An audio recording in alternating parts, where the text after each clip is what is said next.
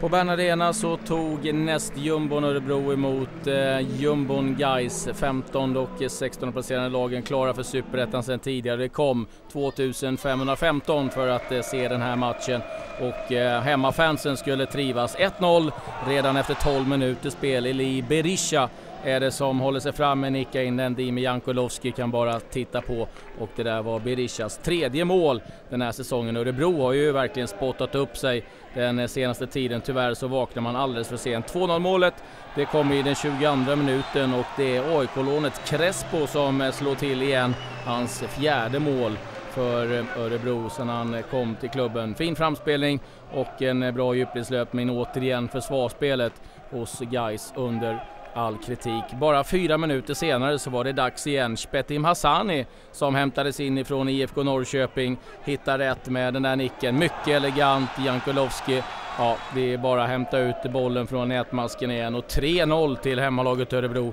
efter 26 minuters spel. Spiken i kistan kom i den 91 minuten.